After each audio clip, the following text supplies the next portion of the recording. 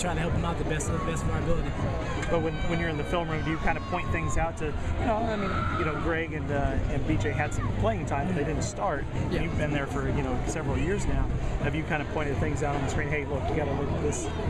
You know, I always, I just try to uh, give them tips, you know, based on the wide receiver splits. If they're tight, they're either going to cross over to the other side or try to run the out route. So there, there, there's the, always tips and ideas that you can always pass on to another guy. How about it from a leadership perspective without having Brett there anymore? I mean, Brett was the heady guy. He's he put everybody in the right spot. Uh, you know, how's Micah doing in that? Is he a different type of voice back there? You know, coming from the spring when we had the scrimmage till now, I think Mike has got gotten really comfortable with making the calls.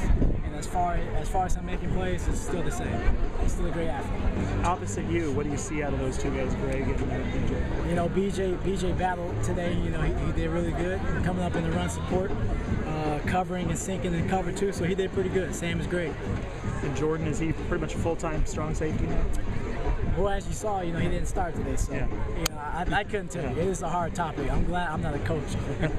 And Colin's doing good. he called him doing pretty good. And is Tanner more free then? Yeah, Tanner Tanner uh, Tanner Miller's a free safety. So it's a lot of things to keep track. of. It sure is. It's confusing for us because we're looking for those definitive starters in the media, but there's nothing, there isn't any bad things that can come out of having nine or ten guys compete for those four spots, right? Yeah, that, that's good. You know, it- when uh, guys are constantly battling for a position, you know, there, there's a plenty of energy and plenty of tempo. So hopefully we can keep that going the rest of this camp. BJ making those same plays in the practices we can't watch.